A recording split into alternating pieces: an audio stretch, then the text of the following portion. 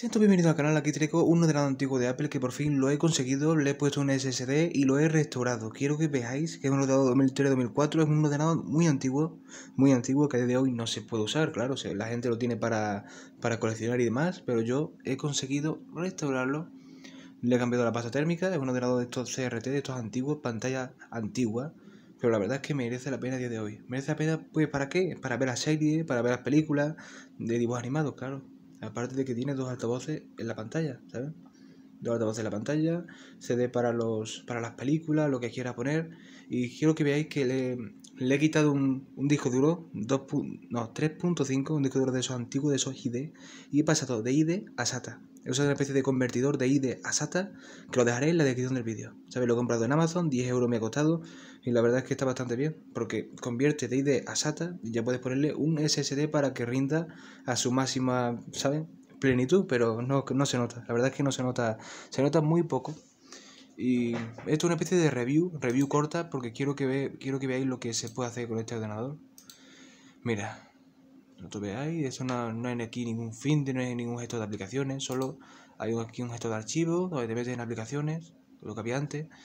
Mira, quiero que veáis también OS X 10.4, 1 GB de RAM, Power G4, Power G4. Estos ordenadores son para, para, para, para trabajar, para ofimática y poco más y se puede emular Windows. No, no, tiene un procesador Intel y no se puede no se puede hacer directamente, ¿sabes? Instalando el Windows del CD. No, se tiene que utilizar una especie de máquina virtual o Virtual Boss o como queréis llamarlo, pero aquí tengo el Virtual PC con licencia.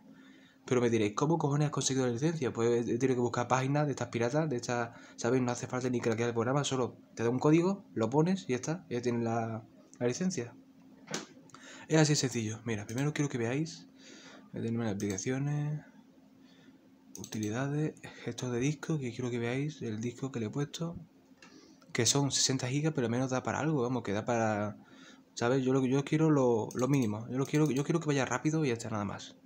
Y bastante años tiene este ordenador como para exigirle más todavía.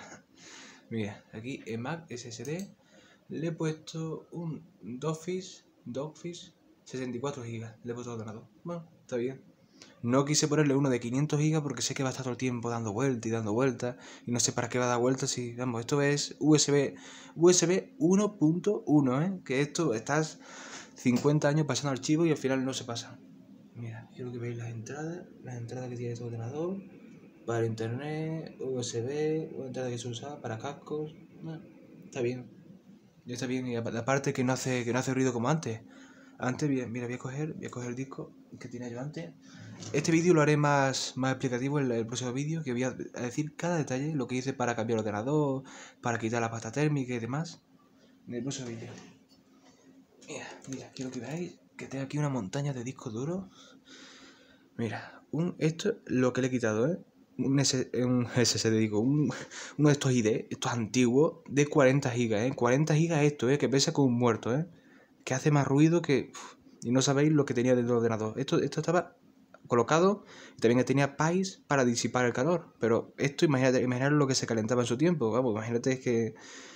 La cosa es que me lo, lo compré y el, el, que se lo, al que se lo compré decía que lo había restaurado. Y digo, ¿por qué no has cambiado el disco duro? ¿Por qué no has cambiado nada?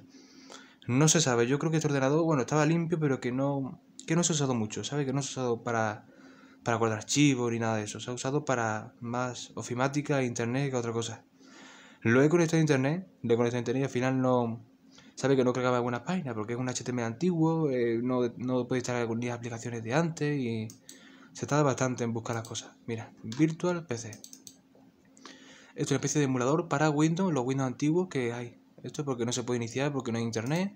Mira, Windows XP, he puesto Windows XP he cambiado la resolución de la pantalla y no sé cómo irá ahora, ¿eh? No sé cómo irá ahora, pero vamos, tenía la mínima, la resolución mínima y tenía más a más hercia la pantalla, así se, se graba mejor, pero bueno. Quiero que veáis, está restaurando la máquina y a ver si reacciona. El SSD se nota, pero más, no en rapidez, sino en, ruido. En ruido, la verdad es que hace menos, menos ruido. Pero no sabéis la calor que, que emite este ordenador. ¡Fua! Mira, aquí está el Windows XP, vaya a ver Vaya a ver lo que se puede hacer en un Power PC actual, 2021. Mira, mira si carga, vamos, da, da, esta pena, ¿eh? Da esta pena emular en Windows XP, así, así. Se tiene que instalar con, con disco. Mira. mira. Va lento, va lento, va lento. Mi PC. Mira, ya, va, ya va medio, ya va medio. Esto lo usaba yo en 2000, no sé, no sé ni en qué año, 2010. Pues se usaba Windows XP en 2010, ¿eh? Para que vosotros veáis, antes no entendía lo que, lo que ahora. Mira la disquetera, esto puede emula, emula USB, puedes poner un USB, puedes pasar archivos, puedes instalar programas. Yo instalé un juego pero no, no me iba al final. Al final no me iba. No sé si se ha puesto 14 GB o algo así. Bueno, File, Windows, bueno, los programas de Windows.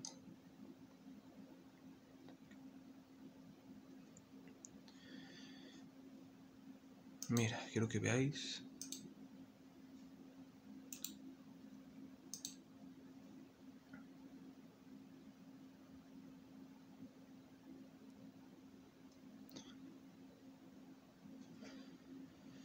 Yo no recomiendo este ordenador para usarlo, porque hay gente que, que aparte de, comprarlo quieren, quieren usarlo. ¿eh? Yo recomiendo comprar servidores, servidores PowerPC o algo así, que esos servidores se le puede poner RAM y pueden también dar el apaño a día de hoy, que no sé quién puede usar ordenador 2003-2004, pero yo uso dos de 2006 y van perfectos, le he puesto un SSD y van volando. Estos iMac que tengo por aquí, sabe que está bastante bien también. Mira hardware, le he instalado el Servipack 3. Mira, ahora lo importante, los juegos. Vamos a jugar al... Ya he jugado, jugado yo a la calculadora y al pinball. Vamos a jugar a... Buscamina, un clásico, ¿eh? Esto es un clásico, esto merece un goti. Si carga. Buscamina, yo siempre he jugado en modo experto. Modo experto. Mira lo rápido que va, ¿eh? Con el SSD, lo rápido que, se mueve.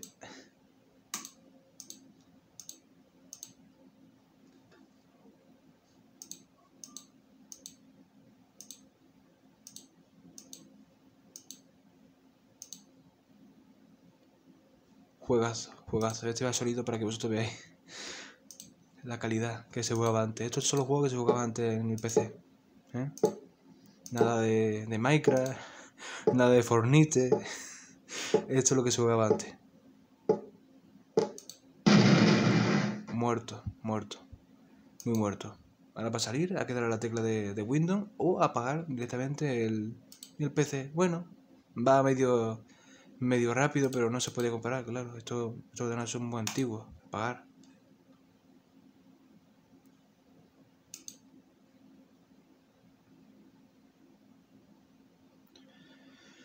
Pero al menos para que vosotros veáis que los programas antiguos todavía están, todavía están y se pueden descargar. Que, ¿sabes? Que no, que no, que si queréis uno de estos no, no esperéis esta última hora porque no se van a poder encontrar. Y más lo que, con lo que pesan. Con lo que pesan, ¡guau! Cerrado. Pero con lo que pesa estos ordenadores, vamos, en la vida, en la vida os lo van a enviar. Porque gastan más en gasto de envío que en ordenador. Y nada, esta ha sido la pequeña review. Espero que os suscribáis a mi canal porque voy a, voy a subir este vídeo para todos los Power PC para instalar Windows. Así que suscribiros y nos vemos en el próximo vídeo.